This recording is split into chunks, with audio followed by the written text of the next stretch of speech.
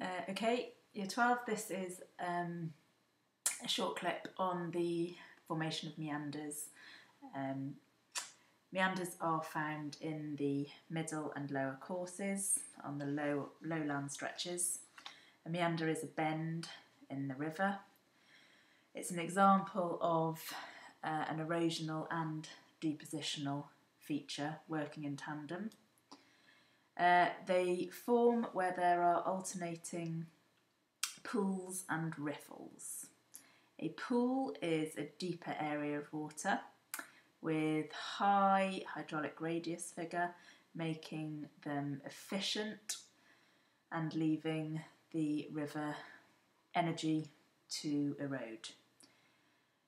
Riffles are shallower areas uh, which can be evidenced seen by turbulent white water flow on the surface, um, which slows down the flow of water because of friction and lowers the hydraulic radius.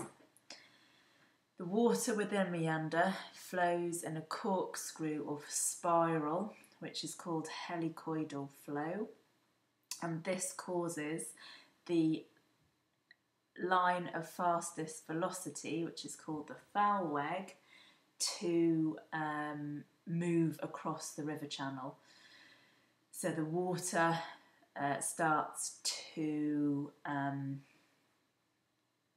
sweep, there we go, across the river channel, hitting the outside of the meander bend and causing erosion on the outside of the meander bend um, which makes the pools deeper, creates a uh, slip off slope, and on the inside of the bend where the water is slower flowing, you get deposition occurring, which creates a point bar.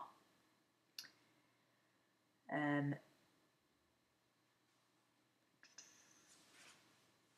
this also gives rise to the meander's distinctive asymmetrical shape. So in cross section, it is an asymmetrical shape showing the deeper pool on the outside of the bend with the uh, river cliff, and on the inside of the bend, the shallower water showing the point bar where deposition has occurred because of less energy due to the slower flowing.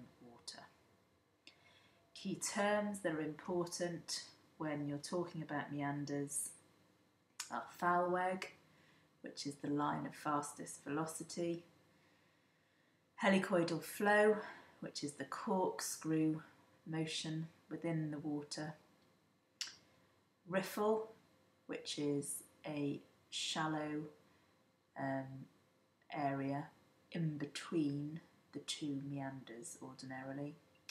Pool, which is the deeper section of water. Uh, erosion, and you need to know the types of erosion that are going on. So you're thinking hydraulic action, abrasion, corrosion, and deposition because of the lower energy in the slower flowing parts of the river. Um, think that